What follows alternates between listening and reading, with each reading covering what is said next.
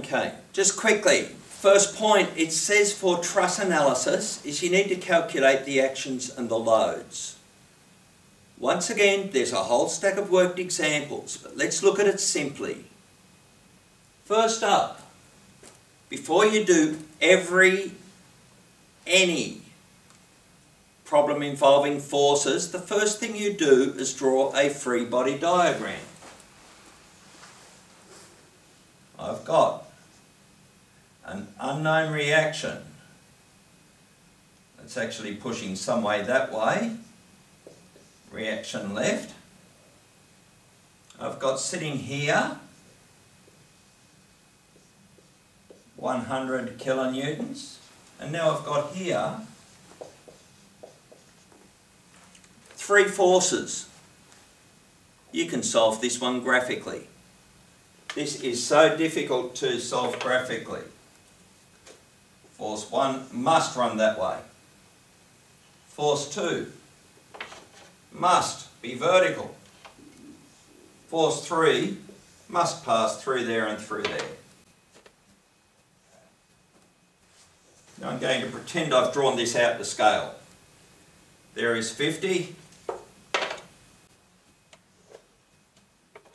Don't worry. I pick that one as 50, I'll pick this one as 50.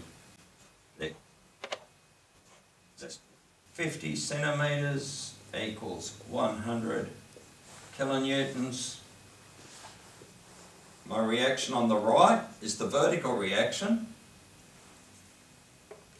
That is 19 centimetres.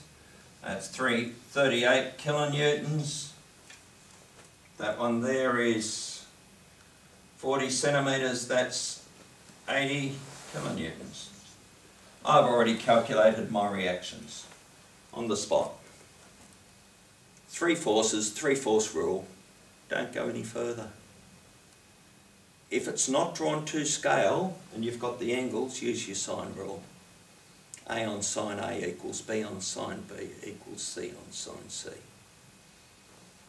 Let's go through that triangle now and just draw it back up again. I know that that's at 45 degrees because it says so. I've got that drawn out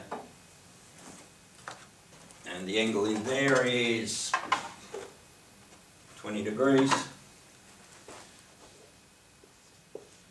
45 and 20 is 65 means I need, that's 115 degrees. Just check 115, 135. Yep, 180. Okay. So that's 100. So 100 kilonewtons. 115 is opposite the 100. 100 kilonewtons divided by sine 115 degrees is reaction right.